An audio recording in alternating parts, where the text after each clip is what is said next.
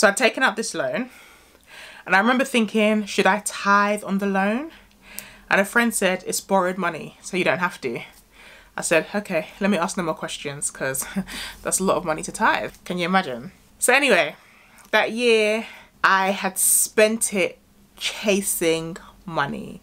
So I was doing all these things in my business to try and hit this goal, this financial milestone. And by the end of the year, I had not achieved anything near what I desired, despite grinding, despite hustling, despite investing. It didn't materialize into results that I was happy with. I remember sitting in my office and I was budgeting and I was down to the last 5k of this loan that I had taken out. And by the time I looked at all of my upcoming expenses, that 5k was gone. And I started thinking, how did I spend this money? I started just reflecting and just thinking about it. And I was just like, I don't really understand how I'm down to the last 5k and I still have not seen a return on my investment. I still haven't hit the financial goals that I desired to have hit by now. I still haven't achieved what I wanted to achieve, but I'm down to my last 5k. I said, nah, I have to use this 5k and it needs to produce a hundredfold. like I need to be so wise and meticulous about how I spend this last 5k. So I'm in my office and I literally hear, literally, I won't say literally because it wasn't audible, but for me it's like a voice within my spirit. And I heard it say, or should I say I heard Holy Spirit say, give away your last 5k. And I said, huh? Party? And I just tried to shrug the what I had concluded concluded was a crazy thought. I tried to shrug it away. But I heard it again. Give away your last 5k. And I remember I sat there at my desk. I was looking at the ceiling.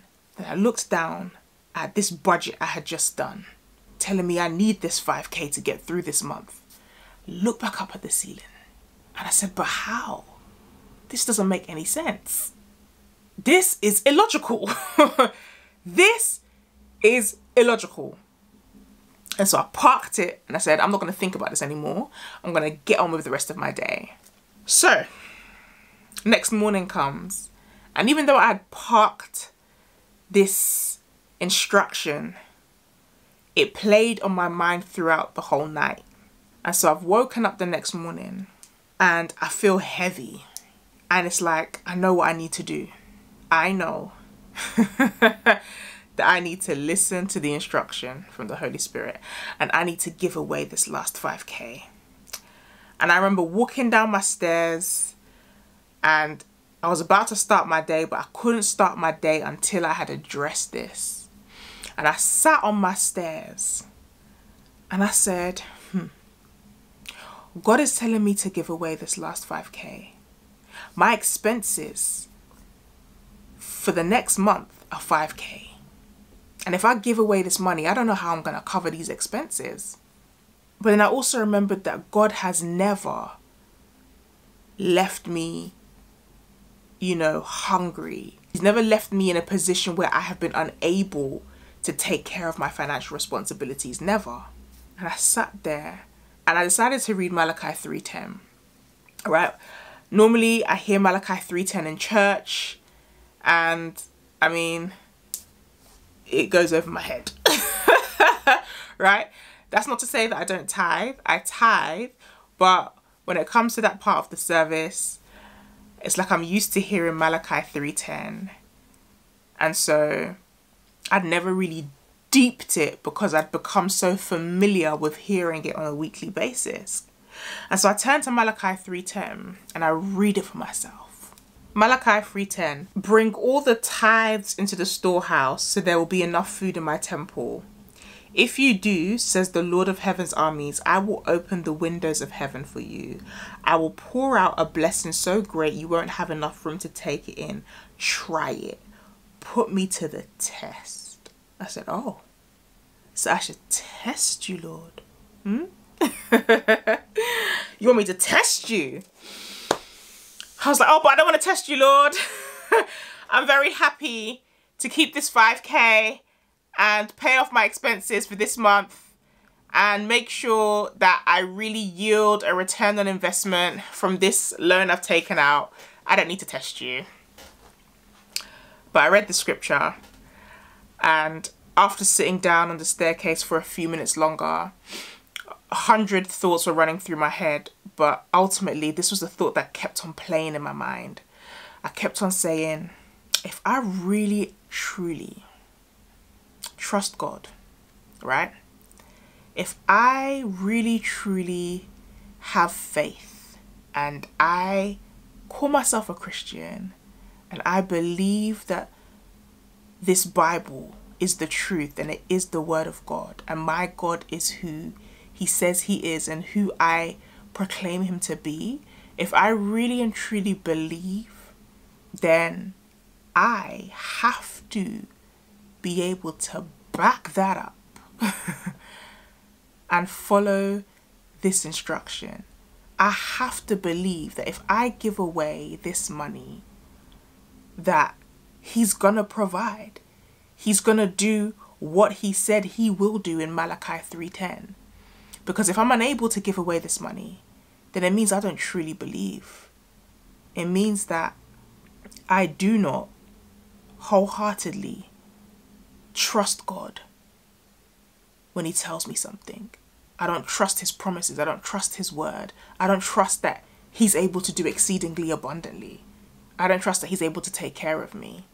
Can I live my life knowing that's how I really truly feel? And I realized that I couldn't.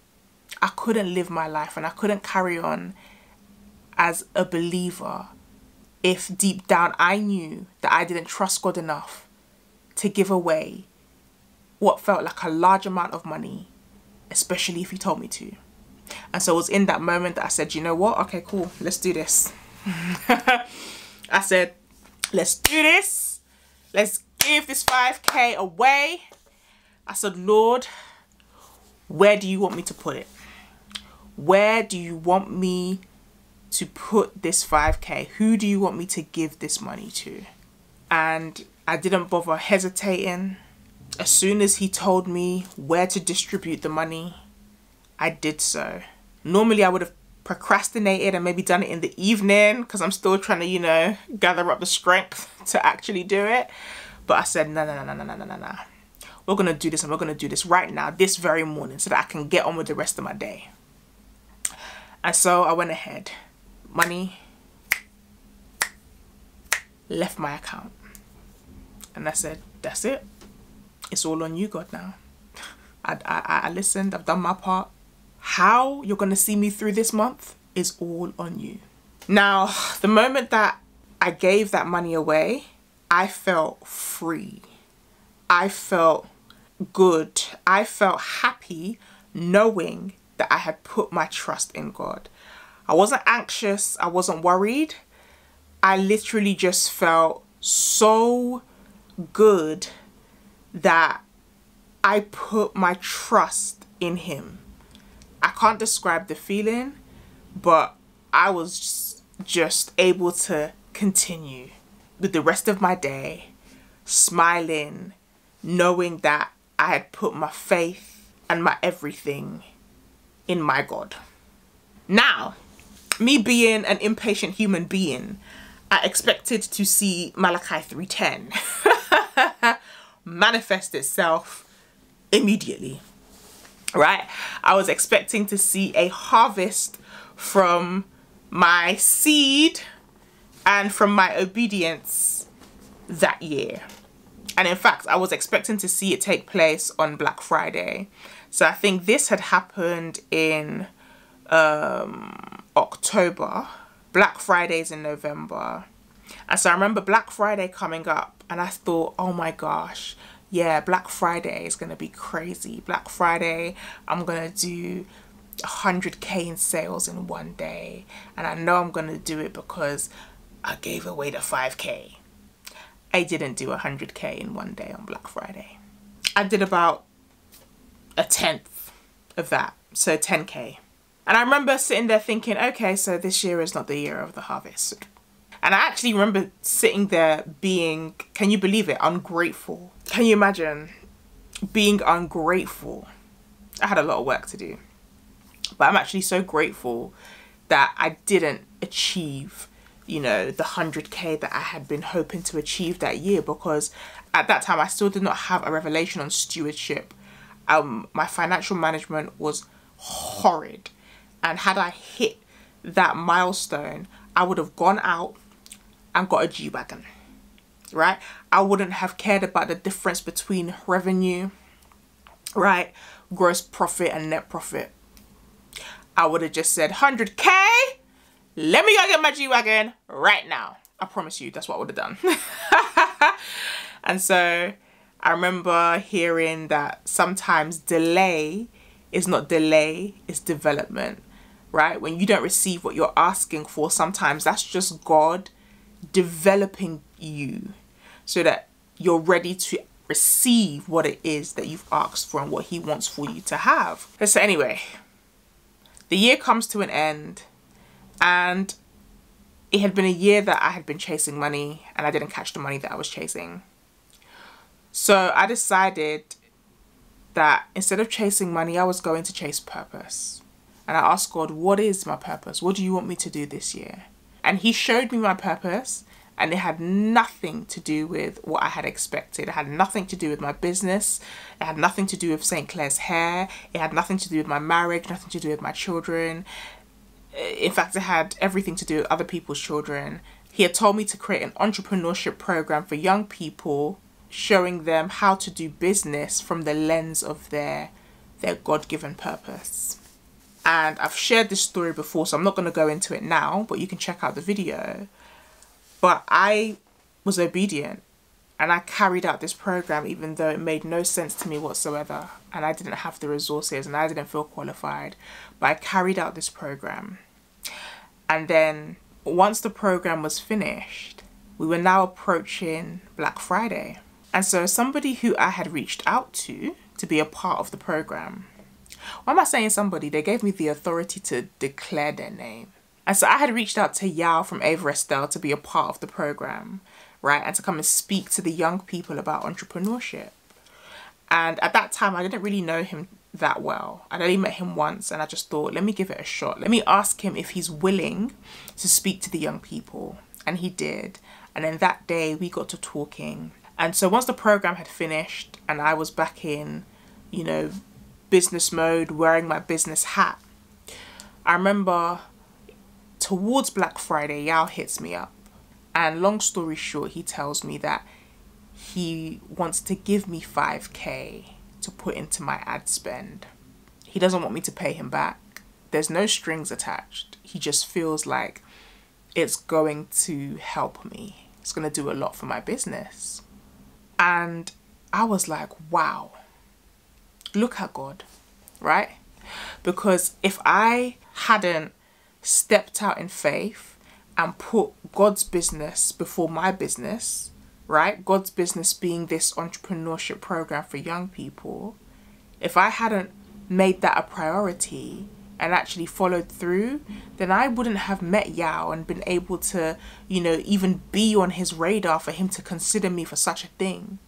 But because I put God's business before my business. Look at what has happened. And then I thought about the 5k that God had asked me to give away the year before. Literally a year from a year from when Yao hit me up is when God asked me to seed and to give away that 5k.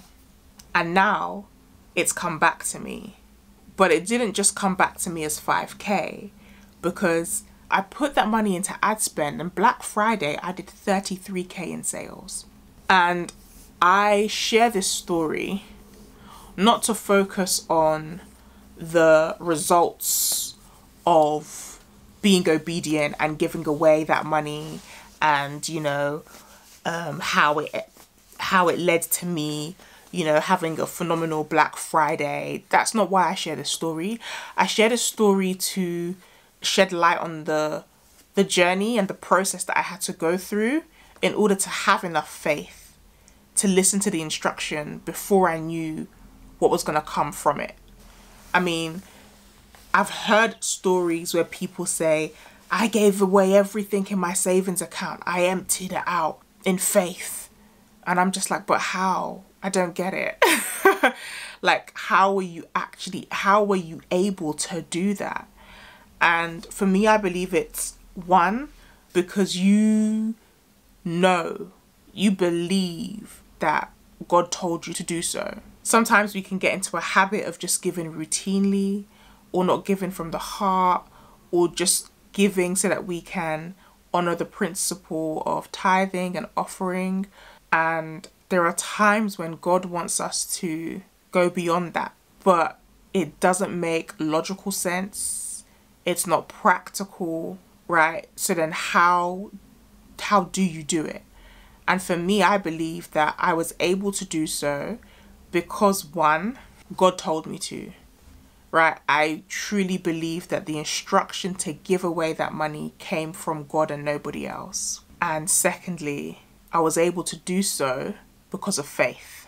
Because I had faith that God would come through. I decided that I was going to use my faith, that I was going to give that money away in faith.